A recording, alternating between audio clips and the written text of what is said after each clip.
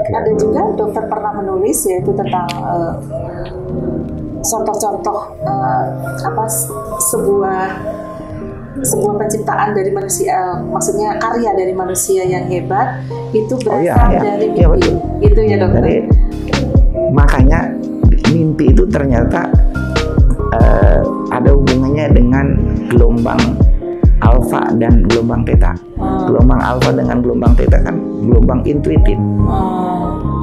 Ya, mohon maaf kalau ada orang yang mengatakan saya pakai ganja agar bisa berintuisi gitu Oh ya. iya dokter. Salah ya dokter. Salah itu sebenarnya. Memang munculnya ada halusinasi itu gitu.